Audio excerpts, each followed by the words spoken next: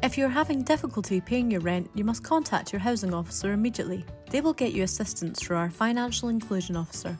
We have a designated Financial Inclusion Officer and Fuel Advisor who can assist with claiming welfare benefits, fuel advice, and the Scottish Welfare Fund. Our staff will assist with signposting to other agencies for further support and assistance, and generally talking through any issues that you may have in a supported, confidential environment. In order to keep our residents informed, we have a number of ways of accessing information and for getting in touch with us. We have a website and you can also find us on Facebook and Twitter. We also regularly supply our residents with information through our newsletter, annual report, and surveys. If you wish to make a complaint, there is a standard model complaints procedure which details the steps for making a complaint. Information on this can be found on our website or by contacting the Association directly.